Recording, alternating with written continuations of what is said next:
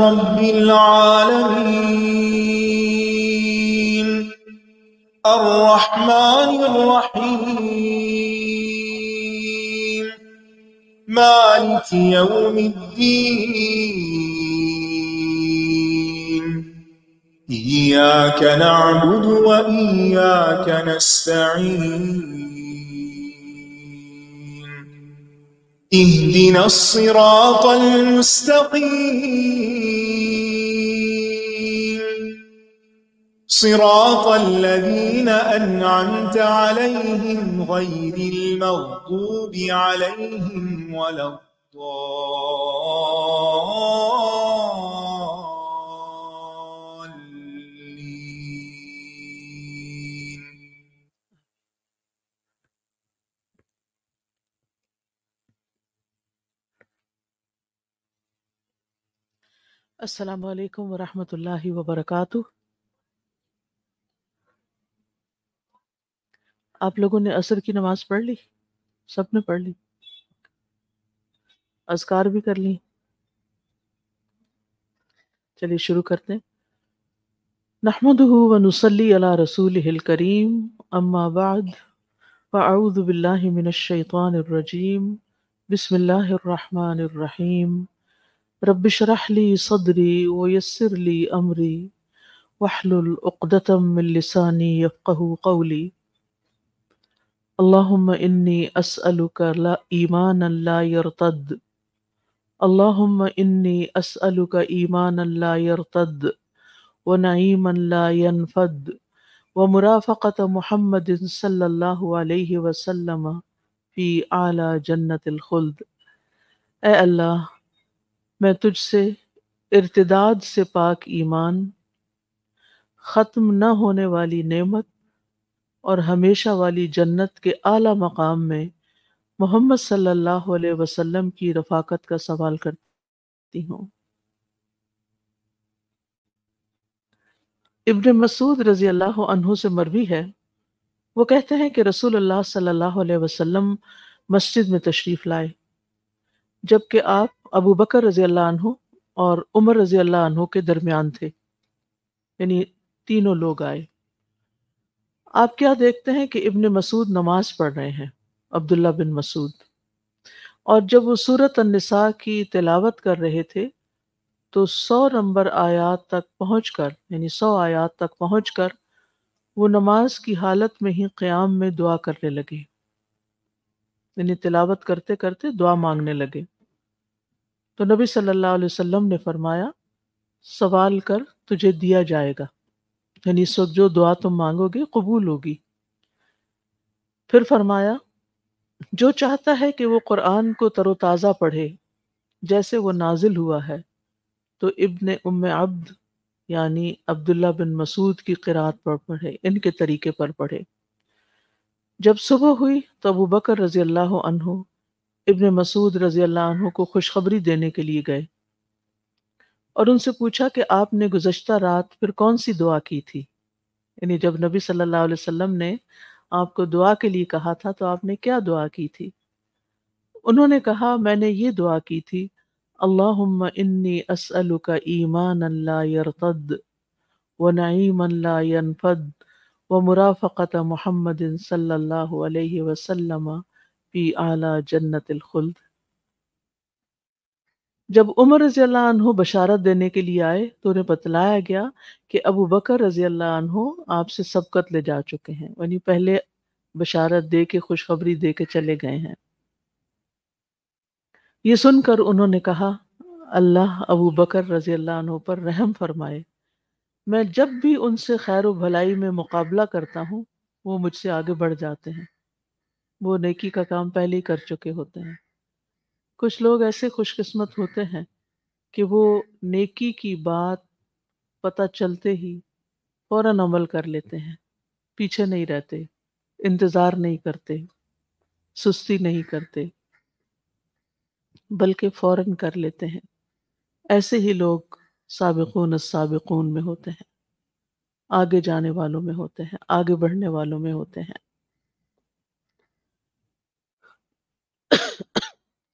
अब्दुल्ला बिन मसूद रज़ी अल्लाह अनहु हुजल, हुजैल कबीले से ताल्लुक़ रखते थे। इनकी वालदा का नाम उम अब्द था, यानी अब्दुल्ला की वालदा उम अब्द। जिनकी तरफ़ कभी कभार आप रज़ी अल्लाह अनहु की नस्बत भी की जाती है, अब्दुल्ला बिन उम अब्द, इब्न उम अब्द। इसलिए कि आपके वालिद ज़माने जाहिलियत में ही फौत हो गए थे। बहुत पहले फौत हो गए थे, यतीम पले थे। लेकिन वालिदा ने इस्लाम का ज़माना पाया और मुसलमान हो गई। अब ज़ाहिर है कि मुसलमान थी और उन्होंने बेटे को पाला भी तो फिर उन्हीं के बेटे की, यानी एक तरह से मशहूर हो गए। और इसमें कोई ऐब की बात नहीं है। जैसे इमाम इबन तैमिया है तो वो भी अपनी दादी की तरफ़ मंसूब हैं, इबन तैमिया। वो एक नेक खातून थी। तो बाज़त ऐसा होता है कि औरतें मर्दों से सबकत ले जाती हैं किसी नेकी के काम में या अल्लाह ताला अपनी तरफ़ से उन पर रहमत कर देता है, उनको लंबी ज़िंदगी दे देता है, उनको खैर के कामों की तोफ़ीक दे देता है। तो अगर उनका कहीं ज़िक्र आ जाता है, जैसे कि तारीख़ में बेशुमार ख़वातीन का ज़िक्र आता है तो इसमें कोई ऐब की बात नहीं है।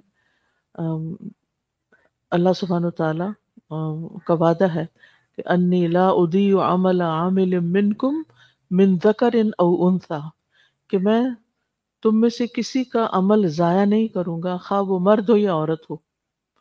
यानी नेकी करने वाली चाहे औरत हो या मर्द हो तो वहाँ पर जेंडर डिस्क्रिमिनेशन नहीं है। जो भी नेकी करेगा, वो उसकी जजा और बदला पाएगा। इससे कोई फ़र्क नहीं पड़ता कि वो किस जेंडर से ताल्लुक़ रखता है, किस नेशनैलिटी से ताल्लुक़ रखता है, किस कबीले और किस कौम और इसका, किस ख़ानदान से है, देखा यह जाएगा कि उसका अमल क्या है। अब्दुल्ला बिन मसूद रज़ी अल्लाह इस्लाम में सबकिन अव्वलीन में से थे और इन्होंने दो हिजरतें की थी, साहिबुल हिजरतैन थे, हबशा और मदीना दोनों की तरफ़। इसी तरह गजव बदर और उसके बाद के मार्कों में शरीक भी रहे हैं। हज़रत अब्दुल्ला बिन मसूद उन सहाबा में से थे जिन्होंने नबी सल्लल्लाहु अलैहि वसल्लम की खिदमत का शरफ हासिल फरमाया, यानी आपकी ज़ाती खिदमत भी की उन्होंने। आप नबी सल्लल्लाहु अलैहि वसल्लम के जूते, सामान तहारत, तकिया वगैरह साथ लेकर चला करते थे, यानी सफ़र में आपका सामान जो था वो साथ लेके जाते थे। आप रज़ी ने नबी सल्लल्लाहु अलैहि वसल्लम से बराह रास्त आपसे सुनकर सत्तर से कुछ ऊपर सूरतें याद की थी। यानी जो बराह रास्त आपसे सुनी थी। वरना तो ये होता था कि जो सहाबा सुन लेते थे, फिर उन वो आगे दूसरों को तालीम देते थे।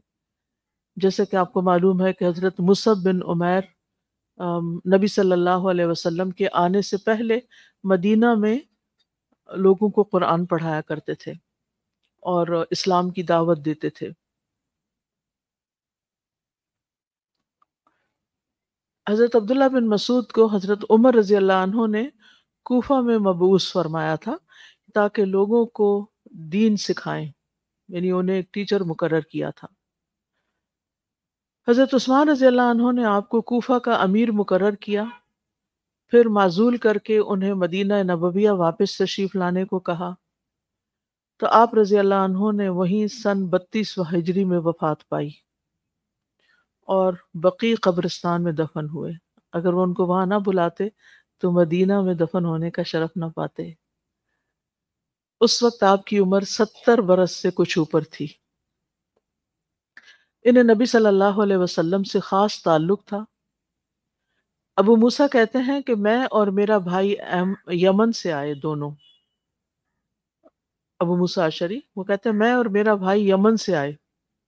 इब्न मसूद और उनकी वालिदा का कसरत के साथ रसूल अल्लाह सल्लल्लाहु अलैहि वसल्लम के घर आना जाना था। और उनके साथ रहने की वजह से, यानी बहुत करीब रहते थे उनके, इस वजह से हम उन्हें रसूल अल्लाह के अहल बैत में से ही समझते थे। यानी उनका इतना करीबी ताल्लुक था अल्लाह के रसूल सल्लल्लाहु अलैहि वसल्लम से।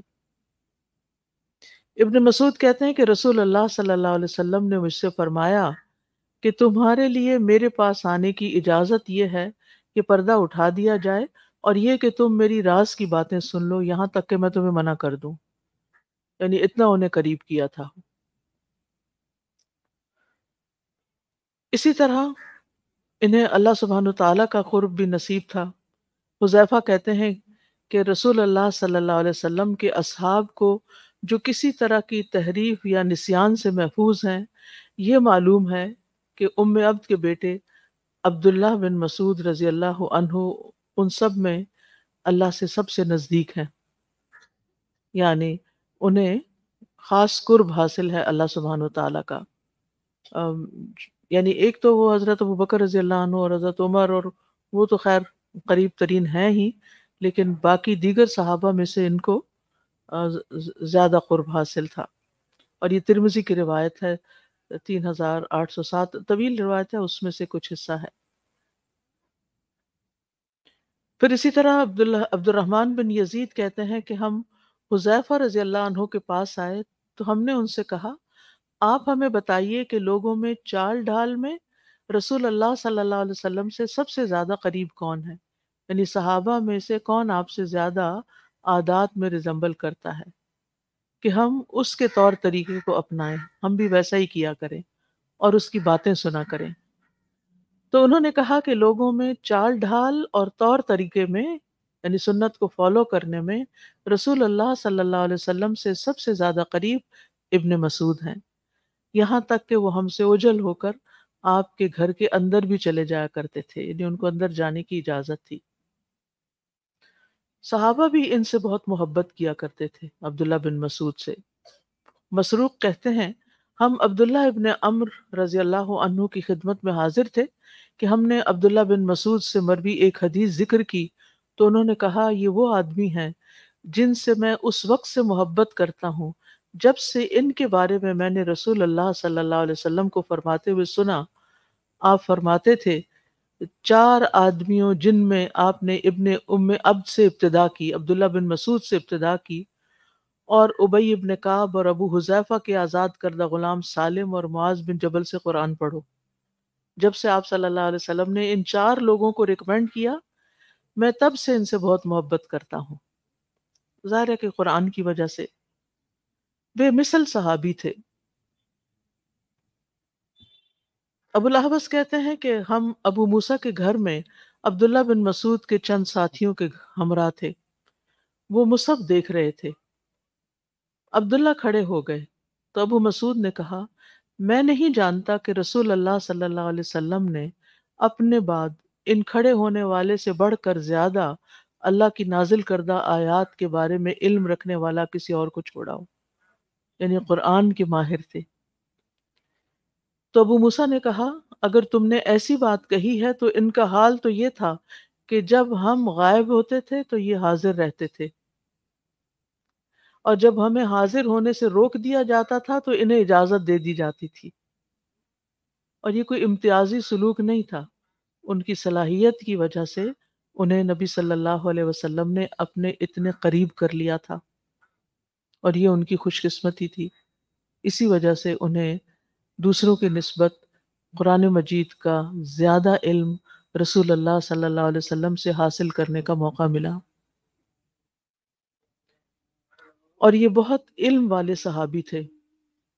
अब्दुल्ला बिन मसूद से रिवायत है, वो कहते हैं बिमा गल्ला यौम जिसने किसी चीज़ में ख़यानत की तो वो क़यामत के दिन अपनी ख़यानत शुदा चीज़ को लेकर हाजिर होगा। फिर कहा, तुम मुझे किस आदमी की किरात के बारे में हुक्म देते कि मैं किरात करूँ? हालाँकि मैं रसूल अल्लाह सल्लल्लाहु अलैहि वसल्लम से सत्तर से कुछ ज़्यादा सूरतें पढ़ चुका हूँ। और यकीनन रसूल अल्लाह सल्लल्लाहु अलैहि वसल्लम के सहाबा जानते हैं कि मैं उन सबसे ज़्यादा अल्लाह की किताब का इल्म रखने वाला हूँ। और अगर मुझे मालूम होता कि कोई एक मुझसे ज़्यादा इल्म रखने वाला है तो मैं उसकी तरफ़ सवार होकर भी चला जाता। शकीक कहते हैं, मैं नबी सल्लल्लाहु अलैहि वसल्लम के सहाबा के हलकों में बैठा हूँ। यानी उनके जो सर्कल्स होते थे तालीम देने के, मैंने किसी से भी नहीं सुना जिसने इब्ने मसूद का इस बात पर रद्द किया हो या उन पर कोई ऐब लगाया हो। यानी जो कुछ इब्ने मसूद सिखाते थे वो सब दूसरे सहाबा रिकमेंड करते थे, किसी ने भी उसमें से कभी इनकार नहीं किया और इब्ने मसूद की किसी बात को छोड़ा नहीं। और ये एक बहुत समझदार मुअल्लिम थे। इब्न मसूद कहते हैं, मैं बलूगत के करीब लड़का था। उकबा बिन अबी मुईद की बकरियाँ चराया करता था। एक दिन नबी सल्लल्लाहु अलैहि वसल्लम और अबू बकर रज़ी अल्लाह अनहु मुशरिकीन से बचकर निकलते हुए मेरे पास से गुजरे। और फरमाया ए लड़के, क्या तुम्हारे पास दूध है कि हमें पिला दो? मैंने अर्ज़ किया, लेकिन मैं तो इस पर अमीन हूँ। ये तो किसी की बकरियाँ हैं। मैं इसमें से दूध नहीं पिला सकता। लिहाजा आपको कुछ नहीं पिला सकूँगा। तो नबी सल्लल्लाहु अलैहि वसल्लम ने फरमाया, क्या तुम्हारे पास कोई ऐसी बकरी है जिस पर नर जानवर ना कूदा हो? यानी अभी उसने बच्चा ही नहीं दिया। मैंने कहा, जी हाँ। और मैं उन दोनों के पास बकरी लेकर आया। तो नबी सल्लल्लाहु अलैहि वसल्लम ने उसकी टांग मोड़ी उसके थन पे हाथ फेरा और दुआ की तो थन में दूध उतर आया। फिर अबू बकर उनके पास एक ऐसा पत्थर लेकर आए जो अंदर से गहरा था, यानी बर्तन की तरह था। तो आपने उसमें दूध दोहा, खुद भी पिया और अबू बकर ने भी पिया, फिर मैंने भी पिया। फिर आपने थन से मुखातिब होकर कहा कि सुकड़ जाओ, चुनाचा वो थन दोबारा सुकड़ गए थोड़ी देर बाद मैं आप सल्लल्लाहु अलैहि वसल्लम की खिदमत में हाजिर हुआ और अर्ज़ किया कि मुझे भी ये बात सिखा दीजिए। आपने फरमाया, तुम बड़े समझदार बच्चे हो। कहते हैं कि फिर मैंने आपके मुबारक मुँह से सत्तर सूरतें याद की, जिनमें मुझसे कोई झगड़ा नहीं कर सकता। यानी वो सूरतें मुझे पूरी तरह याद थी, भूली नहीं। कुरान के माहिर थे। कहते हैं कि उस जात की कसम, जिसके सिवा कोई मबूद नहीं, अल्लाह की किताब में कोई सूरत ऐसी नहीं, मगर मैं जानता हूँ कि वो किस चीज़ के बारे में नाजिल की गई है। यानी सिर्फ़ ज़बानी अल्फाज ही याद नहीं, बल्कि उनका पस मंज़र भी याद है। और कोई आयत ऐसी नहीं जिसके बारे में मैं ना जानता हूँ कि वो किसके बारे में नाजिल हुई है। यानी इतना तफसीली इल्म था उनको कुरान के बारे में। हम भी अरसे दराज से पढ़ रहे हैं, लेकिन अगर कोई आयत उठा के हमसे पूछे तो हम जवाब नहीं दे सकते। वो कहते हैं कि अगर मुझे मालूम हो जाए कि कोई शख्स अल्लाह की किताब को मुझसे ज़्यादा जानने वाला है और उस तक ऊँट पर पहुँचा जा सकता है, यानी पैदल नहीं जा सकते तो मैं सवार होकर उसकी तरफ़ चला जाऊँगा। यानी किस कदर आजजी है, किस कदर तवाजु है, इतना इल्म रखने के बावजूद फिर भी शौक है, फिर भी हिरस है, इल्म इसी तरह हासिल होता है। वरना आमतौर पर हम क्या सोचते हैं, अगर कोई दर्स पर बुलाए तो हम कहते हैं, हमें पहले से पता है क्या करना है, क्या नहीं करना, और क्या सीखना है हमने? कौन सी नई बात सीखेंगे ये सब बातें हमें पहले से पता होती हैं। ठीक है, पता होती हैं, लेकिन याद दहानी भी तो ज़रूरी होती है। और फिर ये तकबर की बात होती है कि इंसान इल्म के लिए अपने आप को उस इल्म से आगे समझे कि मुझे इसकी ज़रूरत नहीं।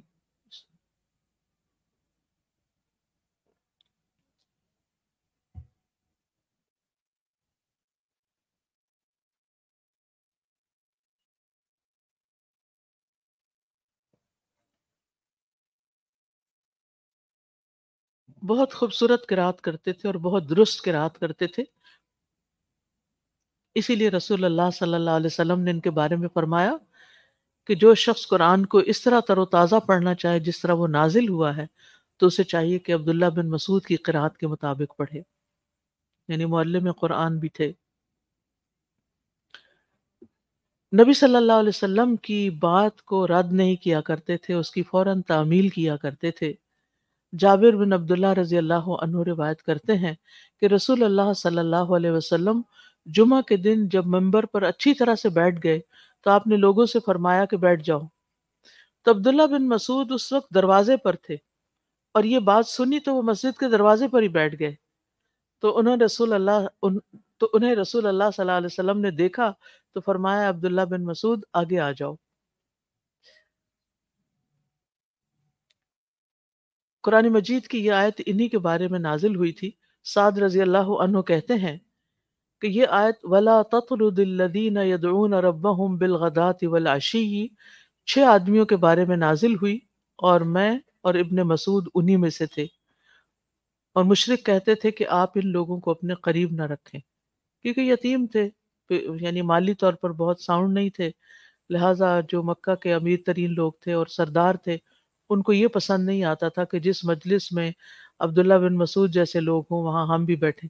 लेकिन आप सोचिए कि अगर कोई शख्स ऐसे सरदारों की निगाह में नहीं भी जचता और अल्लाह के सबसे ज़्यादा करीब है तो उसके लिए किस चीज़ की कमी है? असल खुशकिस्मती तो ये है कि इंसान अल्लाह की निगाहों में करीब हो। इसलिए कभी भी दुनिया वालों की मुखालफत से घबरा के कि लोग क्या कहेंगे, अल्लाह ताला के किसी हुक्म को छोड़ना नहीं चाहिए। इनसे इल्म हासिल करने के लिए इनके शागिर्द इंतज़ार किया करते थे। शकीक कहते हैं कि हम मस्जिद में अब्दुल्ला बिन मसूद का इंतज़ार करते, ताकि वो हमारे पास आए। तो अचानक हमारे पास यजीद बिन मुआविया, नखई आ गए। उन्होंने कहा, क्या मैं जाऊँ और देखूँ? अगर वो घर पर हैं तो मैं उन्हें तुम्हारे पास ले आऊँ। तो अब्दुल्ला अब्दुल्ला बिन मसूद हमारे पास आए, हमारे पास खड़े हो गए और कहा, मुझे तुम्हारे आने की इत्तला दी गई है और मुझे तुम्हारी तरफ़ आने से इस बात के अलावा किसी चीज़ ने मना नहीं किया कि मैं तुम्हें उकताहट में डालना पसंद नहीं करता, क्योंकि रसूल अल्लाह सल्लल्लाहु अलैहि वसल्लम हमारे उकता जाने के खौफ की वजह से कुछ दिनों के लिए वाजो नसीहत का नागा कर लिया करते थे कि लोग थक ना जाएँ। याहिया इब्ने अमर कहते हैं, हम नमाज़ फजर से पहले, नमाज़ फजर से पहले अब्दुल्ला बिन मसूद के घर के दरवाजे पे बैठ जाते। जब वो निकलते तो हम उनके साथ मस्जिद की तरफ़ जाते, ताकि रास्ते में भी उनसे कुछ सीख सकें। नबी सल्लल्लाहु अलैहि वसल्लम ने इनके बारे में फरमाया, तुम दो, तुम इन दोनों की पैरवी करो, जो मेरे असहाब में से मेरे बाद होंगे यानी अबू बकर और उमर की और अम्मार की रविश पे चलो और इब्न मसूद के अहद यानी वसीयत को मजबूती से थामे रखो। यानी उनको मजबूती से थामे रखो। ये अपनी हाइट में छोटे थे। आपने देखा होगा ना, कुछ लोगों का कद बहुत ही छोटा होता है। तो इनका कद बहुत लंबा नहीं था, यानी एवरेज से भी कम था। इब्न मसूद कहते हैं कि इन एक मरतबा वो पीलू की मिसवाक चुन रहे थे। इनकी पिंडलियाँ पतली थी। राइट साइड पर भी आ जाए, सब लेफ़्ट पे मत जाएँ, इधर भी आ जाए राइट साइड पे। ये सारी जगह खाली है, आते जाए। जगह छोड़ दें, थोड़ी सी टेबल के पास से आगे आगे हो जाए, ताकि लोग गुजर सकें आपके पीछे से। शाबाश। लाइन में बैठे ताकि सबको जगह मिल जाए।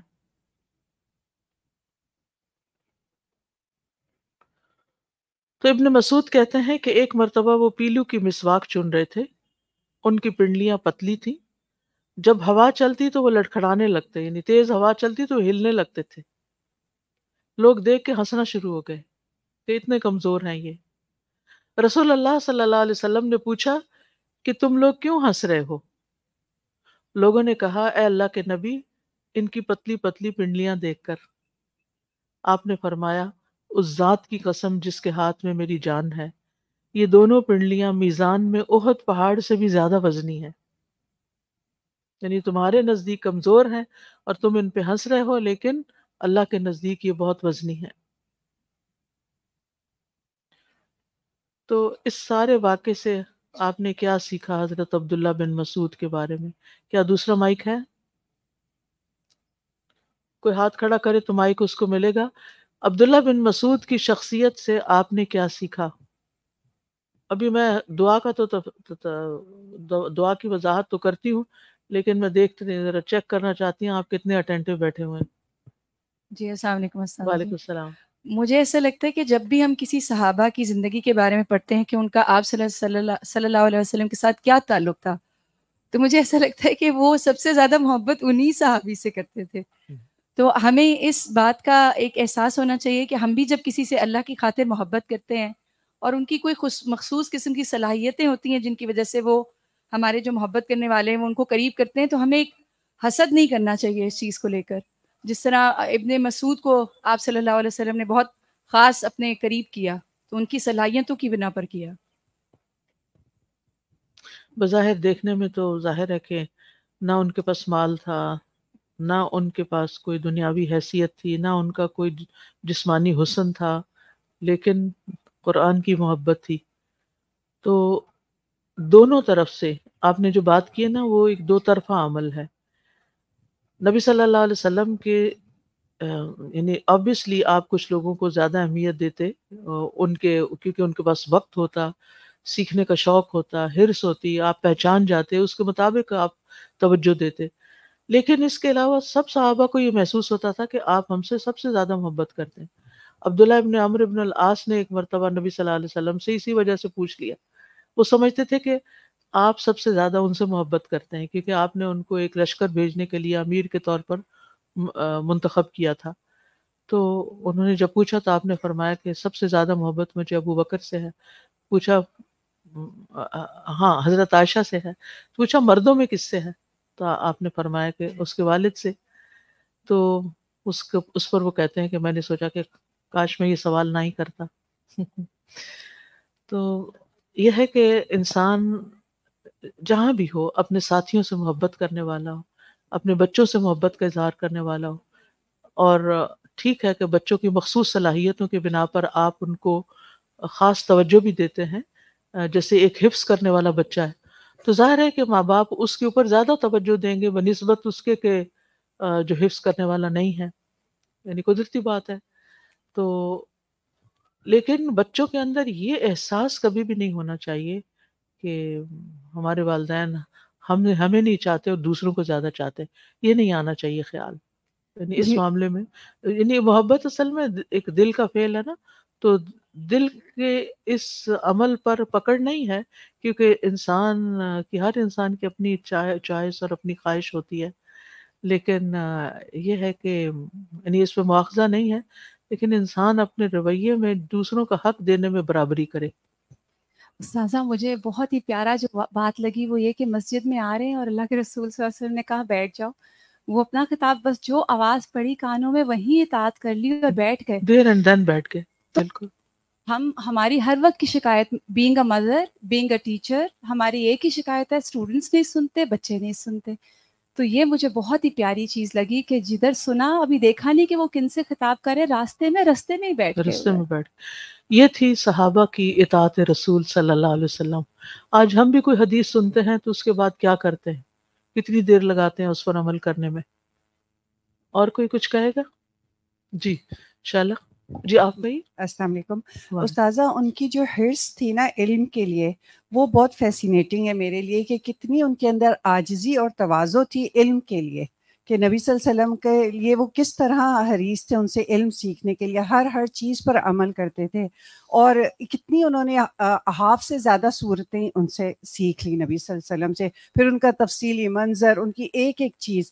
तो ये चीज़ हम एक ही सूरह को लेके अगर हम उसका कुछ पस मंज़र और उसकी कुछ याद कर लें तो मेरे ख्याल है कि हमारे लिए ज़िंदगी गुजारने के लिए बहुत सारे रास्ते खुल जाएँगे। शुक्रिया। जी शैला को दें सामने फ्रंट लाइन पर उस्तादा जी अभी आपने फरमाया कि इंशाल्लाह वजाहत तो करेंगी दुआ की लेकिन मेरा जहन तो वही नबी करीम वसल्लम से रबता है। सॉरी इसको सीधा कर लीजिए। से ही पत, आ, फरमाया नबी वसल्लम ने कि मांगो तो मिलेगा तो ईमान मांग? सबसे पहले ईमान मांगा। ईमान मांगा और आपकी सोबत मांगी। आपकी सोबत दुनिया में तो उनको नसीब थी आखिरत के लिए भी मांग ली। मैं जब भी इस तरह की बात उस्ताद से मुझे इमोशनल हो जाती हूँ कि उन लोगों की ईमान की जो कैफियत थी हम तो उसके कहीं जर्रा बराबर नहीं है उस पर भी वो मजीद मांग रहे मजीद उस पर पुख्तगी मांग रहे आगे सामने दीजिए फ्रंट लाइन जी सादिया जी। जी अस्सलाम वालेकुम। उस्ताजा जी कितनी खूबसूरत बात है कि हज़रत अबू बकर सिद्दीक रज़ी अल्लाह ताला ने उनको खुशखबरी देने गए। फिर हज़रत उमर रज़ी अल्लाह ताला ने खुशखबरी देने गए। अल्लाह इस कदर खूबसूरत चीज़ है कि इसको हम कभी नेकी नहीं समझते कि हम किसी की गैर मौजूदगी में किसी का दिल खुश कर ये दिल खुश कर दें। तो कितना ज़बरदस्त हमारे लिए एक लर्निंग इसमें है कि हमें भी यही अमल अपनाना चाहिए। और कोई हसद नहीं किया अच्छा फिर उनके बारे में तो ये फरमाया हमारे बारे में तो कुछ नहीं कहा। जी, जी। माइक हो माइक खोली। दूसरा ले लीजिए।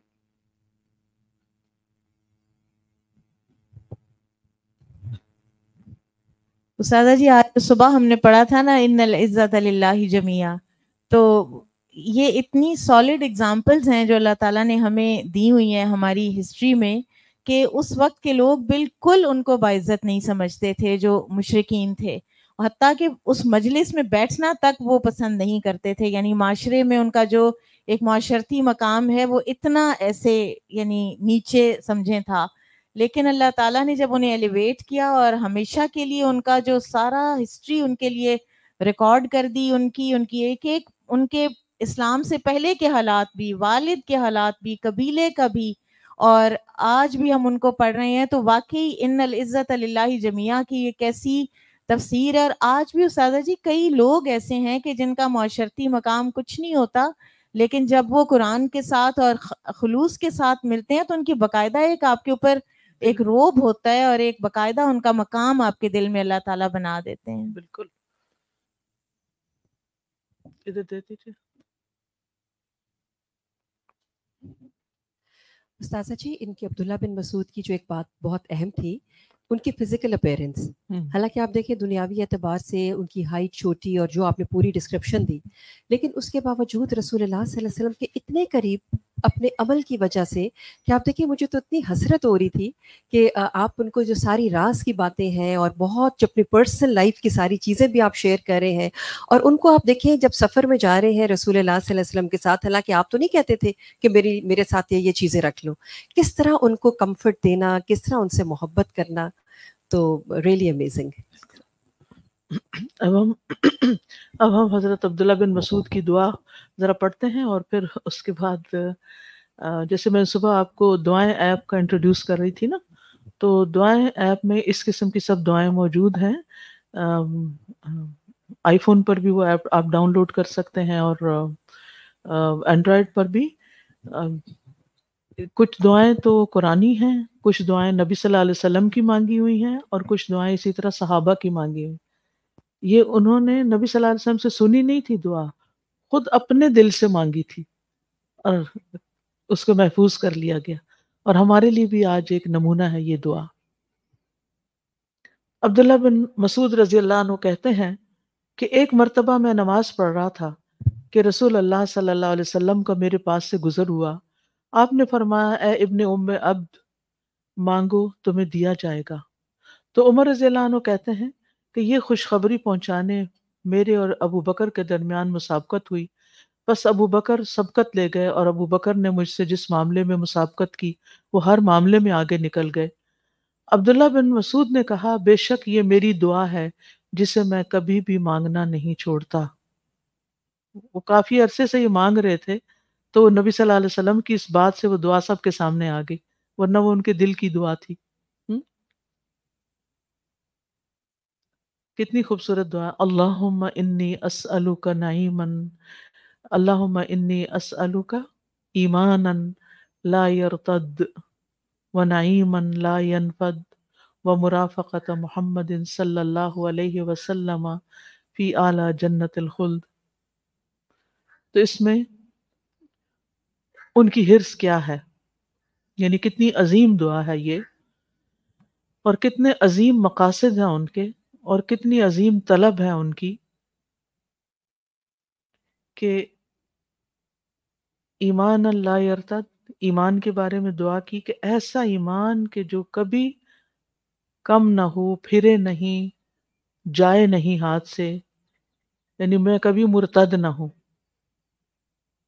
इर्तदाद ना आए।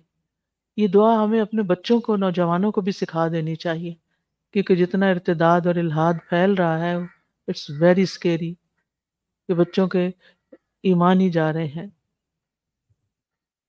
तो उन्होंने दुआ मांगी अल्लाह असलु का ईमान अल्लाह अरतद वो नईम अल्लाह अनफद अल्लाह ऐसी नेमतें चाहिए, ऐसी आसाइशें चाहिए, ऐसी राहत और सुकून चाहिए कि जो कभी फनाई ना हो, कभी ख़त्म ना हो।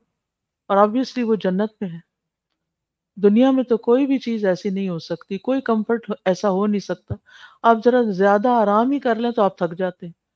आपकी, यानी आप अगर ज़्यादा सो जाएँ तो सुबह उठ के क्या होता है? आँखें भारी होती हैं, जिसम थका थका सा होता है, तबीयत बेजार होती है। यानी यहाँ तो आराम में भी थकावट है। तो सिर्फ़ ये जन्नत की नेमत है। तो कितने अक्लमंद थे। कल ऐसी नेमत चाहिए जो इसके कभी ख़त्म ही ना हो। और तीसरी चीज़, मोहम्मद सल्लल्लाहु अलैहि वसल्लम की रफाकत चाहिए। दुनिया में तो अल्लाह ने दे दी, अल्लाह आखिरत में भी दे। किस चीज़ का शौक है? और उस वक्त नबी सल्लल्लाहु अलैहि वसल्लम ने उनसे फरमाया था इब्ने मसूद, मांगो दिए जाओगे, यानी इस वक्त जो दुआ तुम करोगे कबूल होगी। उन्होंने सब कुछ आखिरत के लिए मांग लिया। अगर हमें कोई कहे कि इस वक्त कोई दुआ मांगो कबूल होगी तो हम क्या मांगेंगे? हम सब ज़रा अपना अपना जायज़ा ले लें कि हमारा असल हम गम क्या है? हम किस चीज़ के पीछे लगे रहते हैं? किस चीज़ के पीछे अपनी जान बुलाते हैं? किस चीज़ को सबसे ज़्यादा मांगते हैं? बाज़ात अल्लाह ताला वो चीज़ नहीं देता, असा अन तो हिब्बू शई अन वह हुआ शर्रकुम व असा अन तकरहू शई अन वह हुआ खैरुल्लकुम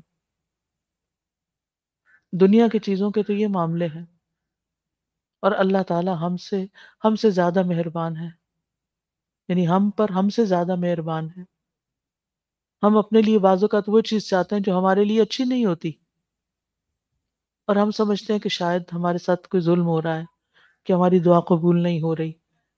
लेकिन अल्लाह को पता है कि मेरे बंदे को क्या चाहिए। और अगर मैं इसको ये चीज़ दे दूँगा तो इसके लिए कितनी नुकसानदेह होगी। ये भी अल्लाह ताला की मोहब्बत होती। अल्लाह ताला की दुआ कबूल करके भी अल्लाह की रहमत होती है और ना कबूल करके भी। हमेशा ये याद रखिए। कभी ये ना सोचिए कि हमारी दुआ कबूल नहीं हुई, शायद अल्लाह ताला हमसे नाराज़ है। वो नाराज़ नहीं है, वो बड़ा ही मेहरबान है। आप तो दुआ की हालत में मांगे चले जा रहे हैं, इबादत करते चले जा रहे हैं तो क्या आपकी इबादत से अल्लाह ताला नाराज़ होगा? कभी भी नहीं। शैतान ये वसवसा डालता है, इससे परहेज कीजिए। तो ये दुआ बड़ी ही अजीम और आला मर्तबे की दुआ है। और, इस दुआ को आप अपनी नफल नमाज़ में पढ़ सकते हैं। किरात करने के बाद खड़े होकर भी, क्योंकि किरात तो खड़े होकर की जाती है ना तो अब्दुल्ला बिन मसूद सूरत निसा की तिलावत कर रहे थे सौवीं आयत पे पहुँच गए थे। और उस वक्त उन्होंने फिर ये दुआ की, क्योंकि कुरान मजीद पढ़ने के बाद दुआ कबूल होती है ना और फिर आप देखिए कि इसके अलावा आप सजदे में भी मांग सकते हैं। जितनी चाहे सजदे में दुआएँ मांगे।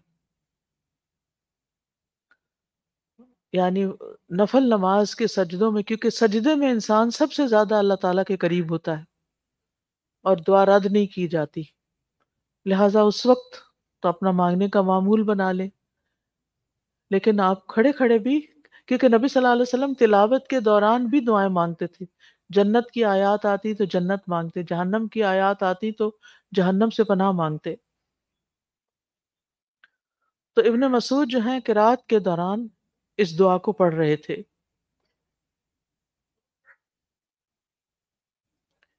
फिर इसी तरह रात और दिन की नमाजों में, ख़ासतौर पर तहजद की नमाज़ में ज़्यादा दुआएँ करनी चाहिए, क्योंकि वो रात का एक ऐसा हिस्सा होता है, ख़ासतौर पर पिछला पहर, जब अल्लाह ताला आसमानी दुनिया पे नजूल फरमाते हैं और ख़ुद बंदों को पुकारते हैं। है कोई जो मुझसे मांगे तो मैं उसको अता करूँ? है कोई जो मुझसे बख्शिश मांगे तो मैं उसको बख्श दूँ? तो उस वक्त खास तौर पर इस्तगफार करनी चाहिए। वह बिल असहारी हम यस्तगफिरून। और फिर, जहाँ तक फ़र्ज़ नमाजों का ताल्लुक है तो फ़र्ज़ नमाजों में ऐसा करना नबी सल्लल्लाहु अलैहि वसल्लम से साबित नहीं कि आप फ़र्ज़ नमाज़ में रहमत वाली आयत पर दुआ करते या अजाब वाली आयत पर पनाह मांगते। और उलमा ने इसकी हिकमत ये बताई है कि शायद इसलिए क्योंकि फ़र्ज़ नमाज़ आप जमात से पढ़ाते थे और उसको बहुत तूल नहीं देना चाहते थे। तो इसलिए शायद आप बीच में दुआएँ नहीं पढ़ते थे। तो अब यहाँ पर आप दुआ का माना देखिए, अल्लाहुम्मा इन्नी असलु का ईमान अल्लाह यरतद। ला यरतद का मतलब है कि मुसलमान होने के बाद मैं कुफर की तरफ़ ना लौट जाऊँ। और ला यनफद का मतलब है कि जो मुनक़ते ना हो, ख़त्म ना हो।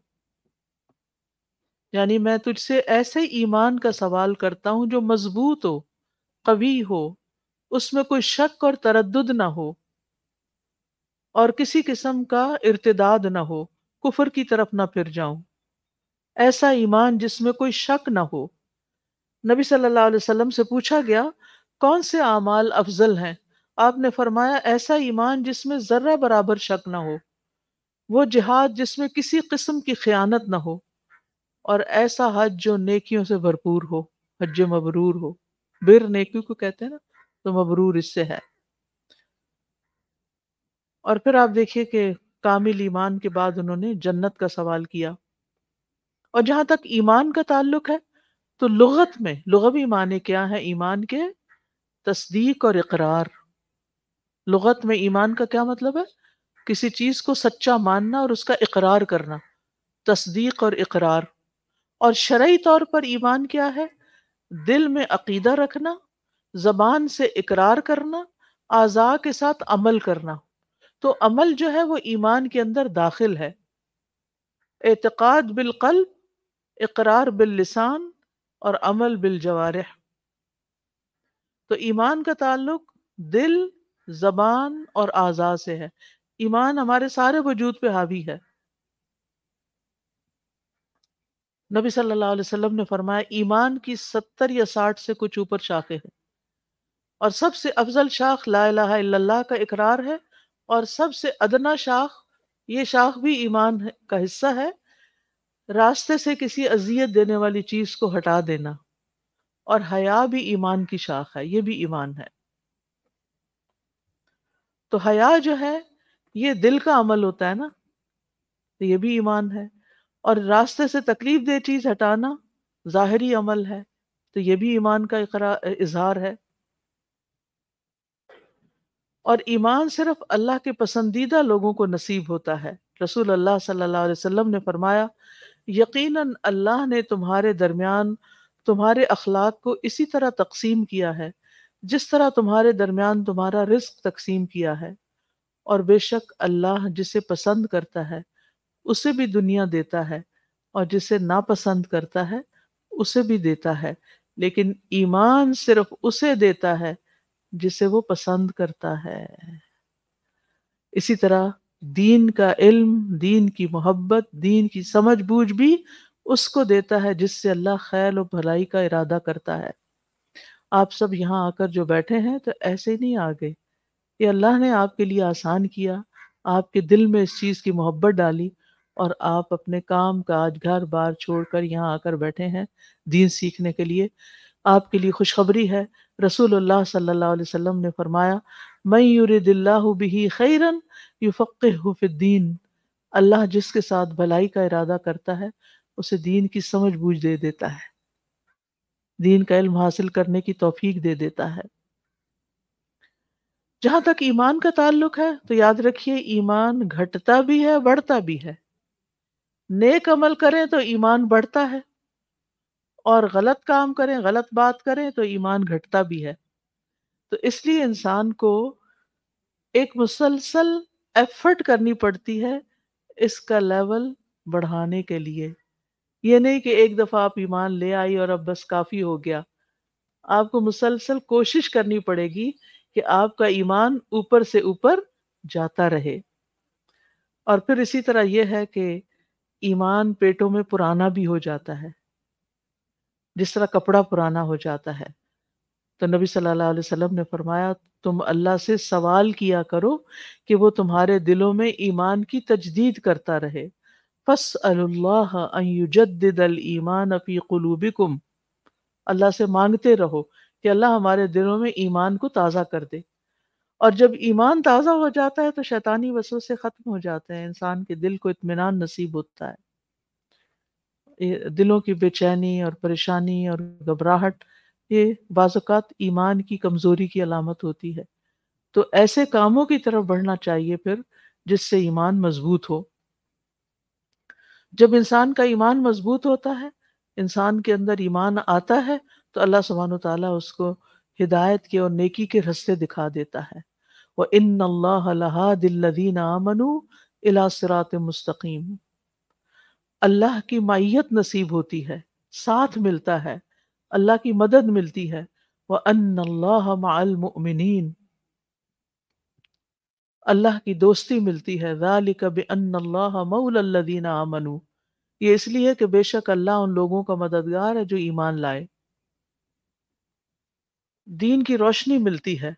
अल्लाह वलीदीन आमनु। युखरजुहुम मिनज़ुलुमात इलन नूर। अल्लाह उन लोगों का दोस्त है जो ईमान लाए, उन्हें अंधेरों से निकाल कर रोशनी की तरफ़ ले आता है। हयात तय्यबा मिलती है। मन आमिल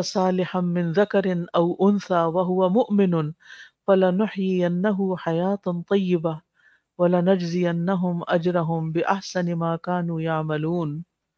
जो शख्स भी नेक अमल करे खा मर्द हो या औरत, बशर्ते के वो मोमिन हो तो हम उसे पाकिज़ा ज़िंदगी बसर कराएँगे और आखिरत में उनके बेहतरीन अमाल के मुताबिक उन्हें अजर अता करेंगे।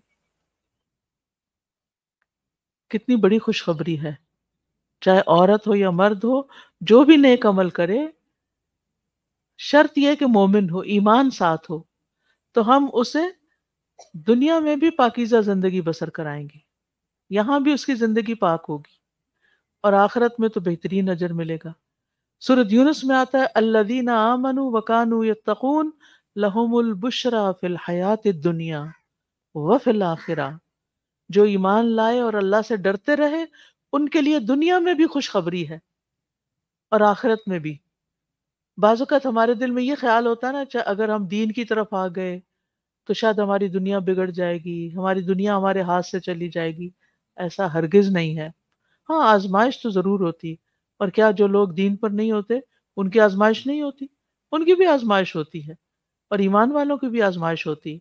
लेकिन फ़र्क दोनों में क्या है कि ईमान वाले अपनी आजमाइश में कामयाब हो जाते हैं और उससे उनका अजर बढ़ जाता है, उनके दर्जात बढ़ जाते हैं। लेकिन दूसरे लोग और पीछे चले जाते हैं, और दूर हो जाते हैं। तो इस आयत से क्या खबर मिलती है हमको कि जो शख्स ईमान लाएगा, तकवा इख्तियार करेगा उसको अल्लाह ताला दुनिया में भी खैर भलाई नसीब करेगा। लहुमुल बुशरा फिल हयात दुनिया। दुनिया में भी अल्लाह ताला उनके दिलों को खुश कर देगा। फिर इसी तरह ये ईमान ही होता है, जिसकी वजह से हमें अच्छाई और बुराई की पहचान होती है। एक तो इल्म होता है ना, इल्म से हमें पता चलता है क्या हलाल है, क्या हराम है। लेकिन बहुत सा ग्रे एरिया भी है। आप इसको यूँ समझे कि जैसे ये मेज के दो कॉर्नर है ना, एक हलाल है, एक आराम है, लेकिन इसके अंदर बहुत सा ग्रे एरिया अब इस ग्रे एरिया में से क्या लेना है, क्या नहीं लेना? ये तो हर रोज का हमारा मसला होता है, क्या करें, क्या ना करें, ये काम करें या ना करें, किससे पूछूँ? हर वक्त किसी से पूछ भी नहीं सकते, फिर दिल में कोई खटक सी भी हो जाती है, फिर इंसान को ये जैसा ईमान होगा ना, उसके मुताबिक गाइडेंस मिल जाएगी कि ये करो ये और ये ना करो। और इंसान उस चीज़ से बच जाएगा, पीछे हट जाएगा, जो अल्लाह ताला को नापसंद होगी। फिर यह है कि ईमान ही है जिसकी वजह से इंसान को निजात मिलेगी। आपको मालूम है कि क्यामत के दिन नेक लोग तो जन्नत में चले जाएँगे और बुरे लोग जहन्नम में चले जाएँगे। लेकिन जहन्नम में जाने वालों में से वो लोग, जहन्नम वाले दो किस्म के हैं। कुछ ऐसे हैं जो जहन्नम के दरवाजों से जहन्नम में दाखिल होंगे। ये हैं कुफार मशरकिन। और कुछ लोग ऐसे हैं कि जो पुल सरात पर से गुजरते हुए जहन्नम में गिर पड़ेंगे अपने बुरे अमाल की वजह से, जिस पर, जिन पर उन्होंने तौबा नहीं की होगी। अब इनको नबी सल्लल्लाहु अलैहि वसल्लम की शफात से निकाल लिया जाएगा। और जिसके दिल में राई के दाने बराबर भी ईमान होगा, जर्रे बराबर भी ईमान होगा, उसको भी जहन्नुम से बिल आखिर निकाल लिया जाएगा। तो ईमान वालों के लिए जहन्नम में खलूद नहीं, खलूद का क्या मतलब हमेश की? यानी वो हमेशा नहीं जहन्नम में रहेंगे, बल्कि एक दिन निकाल लिए जाएँगे। क्योंकि जन्नत में सिर्फ़ ईमान वालों का ही दाखला होगा। ईमान के बगैर कोई जन्नत में नहीं जा सकता। और ईमान के साथ अगर कोई कमी कोताही है और इंसान तौबा कर लेता है तो अल्लाह ताला उसको बुरे अजाब से बचा लेगा। लेकिन अगर फिर भी वो गिर गया वहाँ जैसे कई कोताहियाँ ऐसी हैं कि जिन पे पकड़ होगी मसलन कतर रहमी तो वो वहाँ और अमानत में ख़यानत ये वहाँ बुल सरात पर खड़े होंगे और जि, जिसने ऐसा किया होगा वो उसको पकड़ लेंगे और नीचे लुढ़का देंगे। ये चीज़ें आंकड़ों की शक्ल में होंगी और जैसे क्रेन होती है ना तो उठा के यहाँ से वहाँ फेंक देंगे। इसीलिए पुल सराज से गुजरना बहुत बड़ा इम्तिहान है, बहुत बड़ा। हम दुनिया के इम्तिहानों की फ़िक्र करते रहते हैं छोटा छोटा ड्राइविंग टेस्ट देना हो तो हमारे पेट में बल पड़ते रहते हैं, पत्नी में पास होंगी या नहीं, एक फोबिया सा हो जाता है, सर पे सवार हो जाती है चीज़। हालाँकि क्या फेल हो गए तब तब भी तो ज़िंदगी गुजर रही है, कुछ सारी दुनिया ड्राइवर थोड़ी है। अगर नहीं भी एक काम, नहीं भी वो चीज़ मिली तो उसमें क्या, सो वट यानी हम दुनिया में कुछ भी चाहते हैं, अगर वो मिल जाता है तो वेल एंड गुड अगर नहीं मिलता तो कोई बात नहीं, क्या फ़र्क पड़ता? है गुजारा चल जाता है ना, वो मार तो नहीं देगा। फिर भी ज़िंदा रहेंगे। और हो सकता है इसी में खैर हो। लेकिन आखिरत आखिरत बहुत, उस, उसका नुकसान बहुत बड़ा नुकसान है। वहाँ के बारे में हम नहीं सोचते।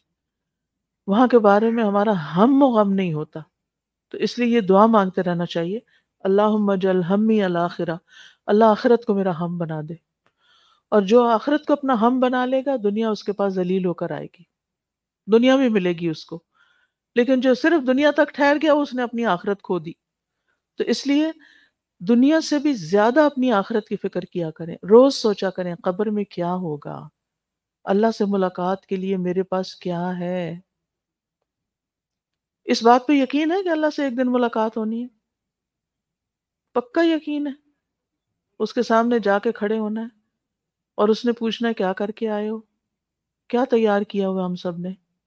कभी कभी ना अकेले में तनाई में अपने आप से पूछा करें, वो कौन सी नेकी है जो मैंने खालिस अल्लाह के लिए किया वो किसी को पता ही नहीं है? और वो कितनी नेकियाँ ऐसे? अल्लाह ताला बस आपके लिए मैंने संभाल के रखी हुई है। मैंने किसी को नहीं पता चलने देना। ये मैंने उस मुलाकात की तैयारी के लिए तैयार रखी हुई है। जब मैं आपसे मिलूँगी तो आपको दिखाऊँ। आप इसे देखकर खुश हो जाएँ मुझसे। कितनी चीज़ें ऐसी तैयार की हुई हैं। कितनी नेकियाँ ऐसे। इधर नेकी करते नहीं, उधर शोहरत कर देते हैं और और फिर नतीजा क्या निकलता है? कहाँ जाती हैं वो? हवा मंसूरा। खुद ही करके खुद ही उड़ा देते हैं। तो अपने और अल्लाह के बीच में राज रखा करें। आपको जिससे मोहब्बत होती है ना, उससे आप अपने सीक्रेट्स शेयर करते हैं। तो कुछ सीक्रेट्स होने चाहिए जो किसी को भी ना पता हो। वो नेकियाँ सिर्फ़ और सिर्फ़ अल्लाह के लिए। और क्या सोच के कि अल्लाह ताला आपसे मुलाकात होनी है ना एक दिन? एक दिन मिलेंगे ना आपसे। तो बस उस वक्त उस वक्त के लिए मैंने ये तैयार किया। आप आपने, माओ को आपने देखा होगा, बच्चे बड़े हो जाते हैं, पढ़ने चले जाते हैं, शादियाँ होकर चले जाते हैं। फिर माओ को कोई अच्छी सी चीज़ मिलती है तो संभाल संभाल के रखती है। जिस दिन बेटा आएगा ना, बेटी आएगी ना, ये मैं उसको पहन, पहनाऊँगी, ये उसको दूँगी, ये उसको खिलाऊँगी, ये उसके लिए। मोहब्बत है ना, इसलिए ये सब कुछ करते हैं। तो जिस दिन अल्लाह से मुलाकात होगी, उस दिन क्या करूँगी? क्या रखा हुआ है? कौन सा तोहफा है? जिससे जितनी मोहब्बत होती है उसके लिए उतना ही आला दर्जे का तोहफा होता है। आपको बस नहीं चलता कि आप क्या हाजिर कर दें। तो ये हमारी मोहब्बत के इम्तिहान है। हमारे लिए अप, अपने लिए टेस्ट है कि हम अल्लाह की खातिर क्या करते हैं। तो बहरहाल जन्नत वालों जन्नत में सिर्फ़ ईमान वालों का ही दाखला होगा। लिहाजा करने का काम यह है कि हम अपने ईमान का जायजा लेते रहें। इसे पुराना ना होने दें, इसे कमज़ोर ना होने दें, क्योंकि कमज़ोर ईमान की अलामत यह कि इंसान नेक अमल में पीछे रह जाता है और बहाने बनाता रहता है। वो फलां की वजह से मैं नहीं कर सका, उसने मुझे रोक दिया, ये चीज़ नहीं होनी चाहिए। अबू दरदा कहते हैं कि आदमी की समझदारी ये है, अक्लमंदी ये है कि वो अपने ईमान को जांचता रहे। कि उसका ईमान बढ़ रहा है या कम हो रहा है। सहाबा एक दूसरे को क्या कहते थे? ईमान बढ़ाने की फ़िक्र कैसे करते थे? माज रज़ी अल्लाह ने एक दफ़ा एक सहाबी से कहा, हमारे पास बैठो ताकि एक घड़ी हम ईमान ले आए। आए, मिल बैठते हैं ताकि ईमान ले आए। और हम किस लिए मिल बैठते हैं? ताकि एक दूसरे के गिले शिकवे कर लें। कोई गिबत शिबत कर लें।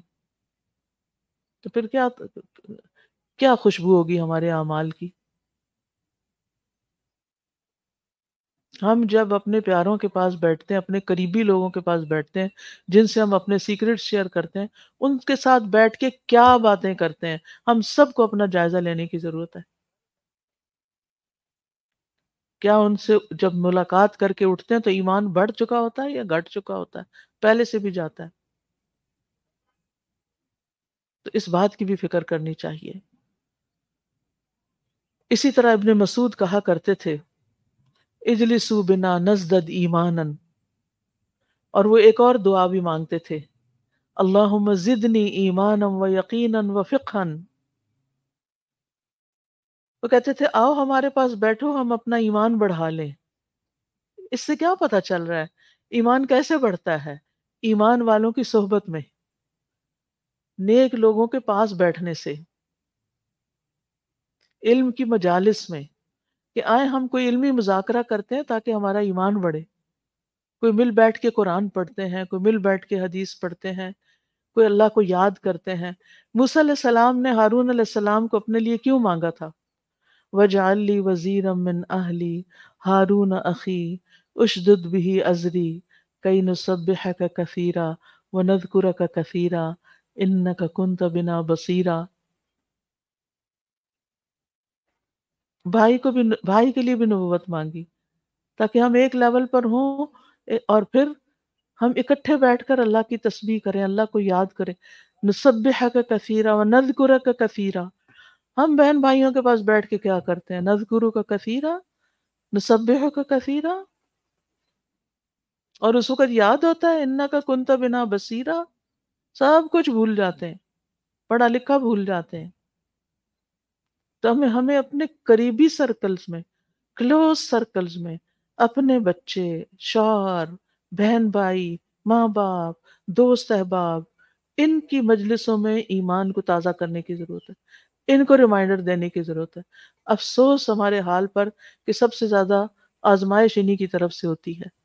यही, यहीं से ही लड़ा, यही ही इख्तलाफी बातें और यही ही गिले शकवे और यही ही फजूल बातें शुरू हो जाती हैं।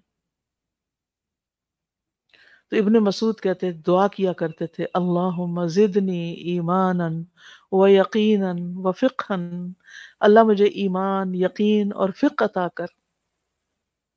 आप भी दुआ मांगा करें, इसी तरह अपनी ज़बान में मांग लिया करें। अल्लाह ईमान ज़्यादा कर दे, अल्लाह यकीन ज़्यादा कर दे, अल्लाह तवक्कुल ज़्यादा कर दे, तकवा ज़्यादा कर दे, अल्लाह अपने ज़िक्र की तौफीक दे, अपने शुक्र की तौफीक दे, अपनी मोहब्बत दे, अपना उन्स दे, अपना खौफ दे, अपनी खशियत दे, अपनी हैबत दे, अपने से हया दे। ये मांगा करें और कबूलियत के औकात में मांगा करें। जब ये मांगेंगे तो आप देखेंगे आपके तो दिल की दुनिया ही बदल जाएगी। जब ये चीज़ें आप ये दिल की गज़ा है सारी चीज़ें, जब ये चीज़ दिल के अंदर आ जाएगी तो आप देखेंगे कि दिल के अंदर एक ऐसा यकीन और ऐसा ईमान और ऐसी पुख्तगी आ जाएगी कि आप खुद हैरान हो जाएँगे। हर तरह की बेचैनी, हर तरह का खौफ, हर तरह की परेशानी खत्म हो जाएगी। क्योंकि दिल पे दुनिया सवार है ना। दिल पे दुनिया की मोहब्बत छाई हुई है। लिहाजा दुनिया तो हमेशा इंसान को फिर गमगीन ही रखती है, क्योंकि वो हमारी उम्मीदों के मुताबिक हमें मिलती नहीं। तो कहे, अल्लाह मेरा दिल बदल दे। अल्लाह जल हमी अलाखिरा अल्लाह आखिरत को मेरा हम बना दे। कोई भी चीज़ जो दुनिया में आपका हम बनी हुई है ना, हम। चाहे औलाद है, चाहे माल है, चाहे लो, यानी कि कोई और किसी डिग्री का हो कोई भी चीज़ जिसके पीछे आप रो मर रहे हैं तो आप कहें, अल्लाह मेरा दिल बदल के इसकी जगह मुझे आखरत की फ़िक्र दे दे। एक खातून ने किसी इम, आ, स्पीकर को सुना किसी शेख को टीवी पर कि वो बता रहे थे कि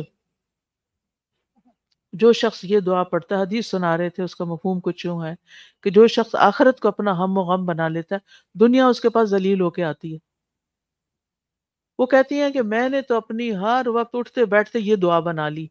अल्लाह जल हमी अलाखिरा और दोबारा वो बताती हैं उन्हीं शेख को कि जब से आपने ये दुआ बताई थी, मैंने ये दुआ पढ़नी शुरू की और मेरे सारे मसले हल हो गए। अल्लाह के रसूल की ये बात मेरे लिए सच हो गई कि दुनिया मेरे लिए जलील हो गया। हम किसी चीज़ के पीछे भागते हैं और वो हमसे और आगे भागती है। दुनिया का हाल ही यही है। आजमा के देख लें, जिस चीज़ का आप ज़्यादा पीछा करेंगे ना, वो चीज़ और आगे जाएगी। लेकिन जब आप उससे मुँह मोड़ के अल्लाह की तरफ़ और आखिरत की तरफ़ रगबत करेंगे तो वो चीज़ आपके पीछे पीछे आएगी, खुद ही आ जाएगी। लेकिन हमने ये गुर और फन सीखा नहीं। तो हम दुनिया ही मांगते हैं अल्लाह से अल्लाह से ईमान की कसरत मांगे ही, यकीन की पुख्तगी मांगे। ऐसा यकीन और ऐसा ईमान जिसमें कोई शक हो ही ना। इब्ने अभी मुलैका कहते हैं मैं नबी सल्लल्लाहु अलैहि वसल्लम के तीस सहाबा से मिला। उनमें से हर एक को अपने ऊपर निफाक का डर लगा हुआ था। उनमें से कोई यूँ नहीं कहता था कि मेरा ईमान जबरील और मिकाइल जैसा है। उनको डर ही लगा रहता था, पता नहीं हमारे ईमान का हाल क्या है। हज़रत हंजला का वाक्य आप सबने सुना है, बहुत दफ़ा सुना है। कि नाफ़ा हंजला, उनको अपने ईमान का खौफ हो गया कि मेरी हर, नबी सल्लल्लाहु अलैहि वसल्लम की मजलिस में कैफियत और होती है, घर में कुछ और होती है, पता नहीं मैं क्या हूँ ईमान वाला हूँ भी या नहीं? हज़रत बकर ने कहा, मेरा भी यही हालत है, चलो अल्लाह के रसूल के पास चलते हैं। तो आपने फरमाया, उस ज़ात की कसम जिसके हाथ में मेरी जान है, अगर तुम हमेशा उसी कैफियत में रहो, जिस हालत में मेरे पास होते हो, ज़िक्र में मशगूल होते हो तो फरिश्ते तुम्हारे बिस्तरों पर और तुम्हारे रास्तों में तुमसे मुसाफा करें। लेकिन ए हंजला वक्त वक्त की बात है। किसी वक्त दिल की हालत कुछ होती है, किसी वक्त कुछ होती है। और आपने ये बात तीन दफ़ा फरमाई। तो ईमान बढ़ाने के लिए क्या चाहिए आपको? कंपनी चाहिए। फिर अपने फ़राइज की अदायगी चाहिए। और दुआ चाहिए जो पीछे मैंने बताई है। और फ़राइज की अदायगी चाहिए। अपने फ़राइज, वाजिबात, सुन्नत, नफल अदा किया करें।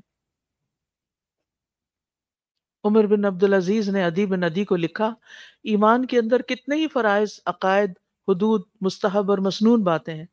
बस जो इन सबको पूरा करे, उसने अपना ईमान पूरा कर लिया और जो इनको पूरा ना करे, उसने अपना ईमान पूरा नहीं किया। यानी अमल की कमी, ईमान की कमी है। अमल में कमी, ईमान में कमी है।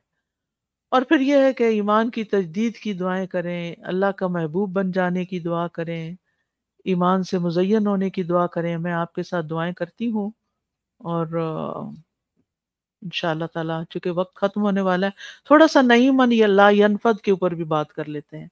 ऐसी नेमतें जो कभी ख़त्म ना हो, दायमी हो।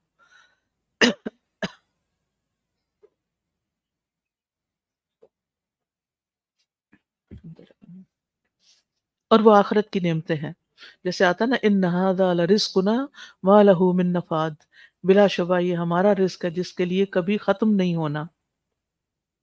इसके बरक्स दुनिया की सारी नियमतें ज़ायल हो जाती आप अच्छे से अच्छा मज़े का खाना खाते हैं ना तो आपका दिल चाहता है कि अच्छा चलो इसको सेव कर लेते हैं, फिर दोबारा खाएँगे।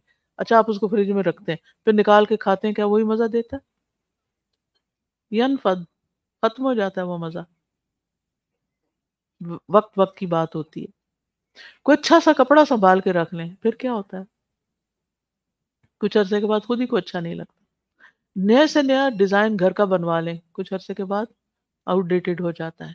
दुनिया की कोई नेमत ऐसी नहीं कि जिसके अंदर जवाल ना हो। लेकिन माँ इंदकुम यनफद व माँ इंदल्ला बाक जो तुम्हारे पास है, सब फना होगा और जो अल्लाह के पास है, वो बाकी रहने वाला है।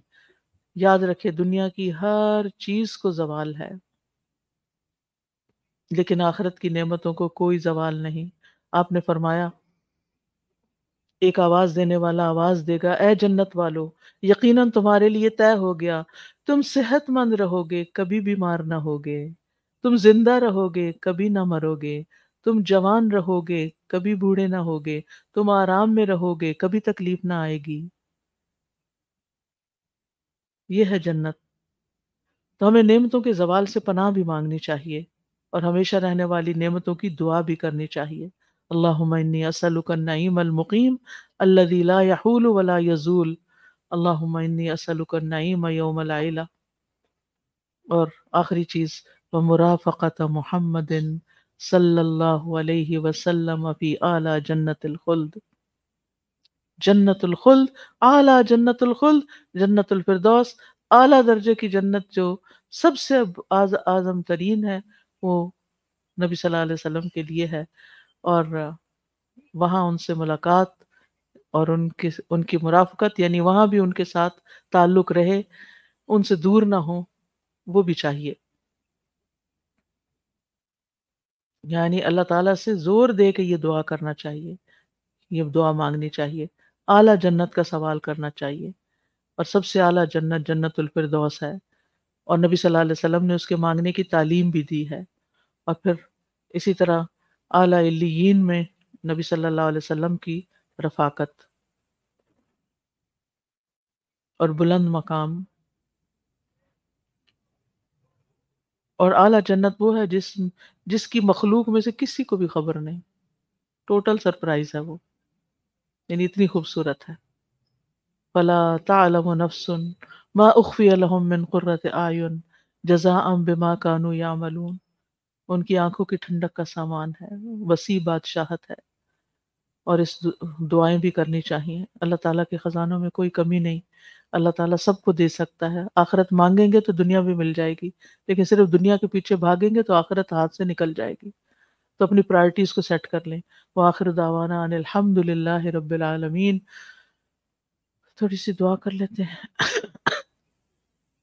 सुबहान अल्लाह वल्हम्दुलिल्लाह वला इलाहा इल्लल्लाह वल्लाहु अकबर वला हौला वला कुव्वत इल्ला बिल्लाहिल अलील अज़ीम अल्लाहुम्मा सल्लि अला मुहम्मदिन व अला आलि मुहम्मदिन कमा सल्लैत अला इब्राहीम व अला आलि इब्राहीम इन्नका हमीदुम मजीद अल्लाहुम्मा बारिक अला मुहम्मदिन व अला आलि मुहम्मदिन कमा बारकत अला इब्राहीम वअला आलि इब्राहीम इन्नका हमीदुम मजीद अल्लाहुम्मा इन्नी अस्अलुका ईमानन ला यरतद व नईमन ला यनफद व मुराफaqat मुहम्मदिन सल्लल्लाहु अलैहि वसल्लम फ़ी आला जन्नतिल खुल्द रब्बना आतिना फिद दुनिया हसनतन व फिल आखिरति हसनतन व क़िना अज़ाबन नार रब्बना हब लना मिन अज़वाजिना व ज़ुर्रियातिना क़ुर्रत अयुनिन वजअलना लिलमुत्तक़ीना इमामा रब्बना रब्बना ला तुज़िग़ क़ुलूबना बअद इज़ हदैतना व हब लना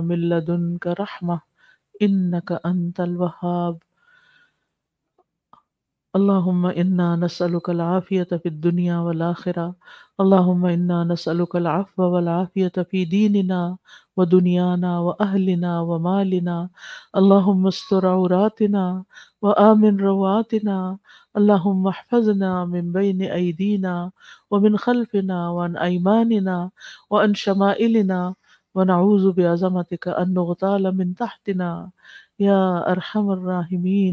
व अन अयमानिना व अन शमाइलिना व नऊज़ु बिअज़मतिका अन नुग़ताल मिन तहतिना या अरहमर राहिमीन या रब्बल आलमीन या जल जलाली वल इकराम या अरहमर राहिमीन या मन बियदिही मलकूतुस समावाति वल अर्द अल्लाहुम्मा हब्बिब इलैनल ईमान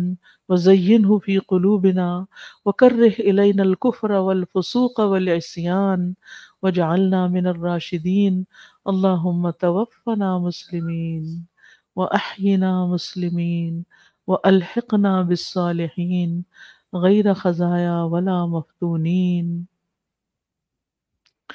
अल्लाहुम्मा जद्दिदिल ईमान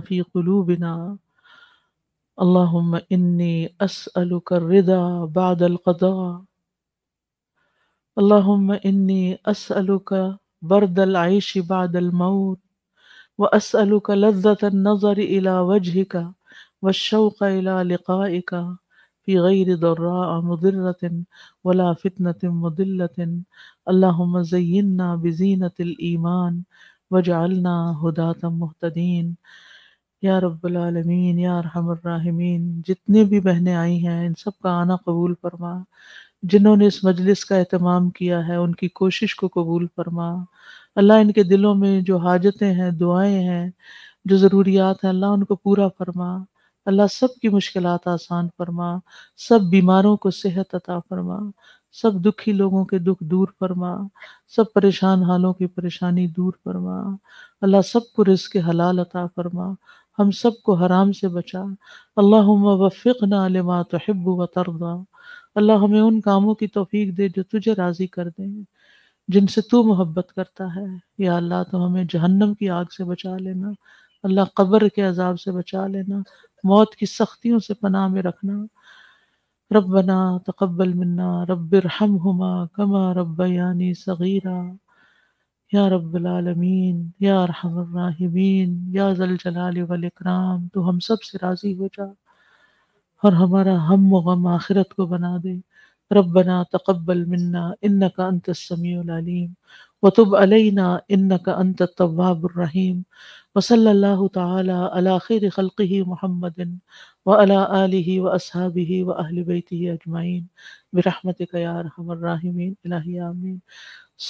अल्लाहुम्मा व बिहम्दिका।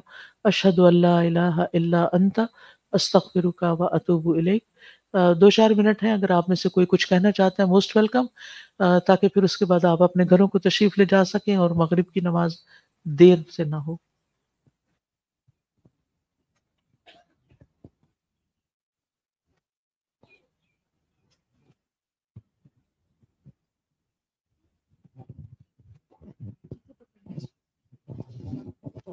अस्सलाम वालेकुम रहमतुल्लाह बरकातहू वालेकुम अस्सलाम उस्ताद जी जैसे अभी हमने दुआ में पढ़ा ना कि उसके मुकामात में कि ऐसी मजालिस में जाने से ईमान बढ़ता है। जी। और वाकई इस चीज़ का एक्सपीरियंस होता है कि हम ऐसी मजालिस में जब मौजूद होते हैं ना तो वाकई दिल की कैफियत कुछ और होती है।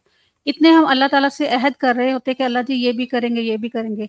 लेकिन घर जाते जाते वो थोड़ी कमी आ जाती है। तो इसको दोबारा उस जी दोबारा ऐसी मजलिस में जाना चाहिए और ढूंढना चाहिए इल्म की मजालिस को। आपके इर्द गिर्द करीब में जो भी हो दुनिया के काम तो ख़त्म नहीं होते लेकिन अपने लिए भी वक्त निकालें और अपने ईमान को बढ़ाने के लिए ऐसी मजालिस में शरीक हों। पानी दे दो। जी और कोई कुछ कहना चाहे? जी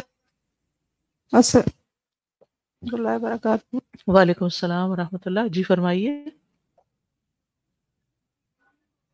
जी माइक ठीक कीजिए।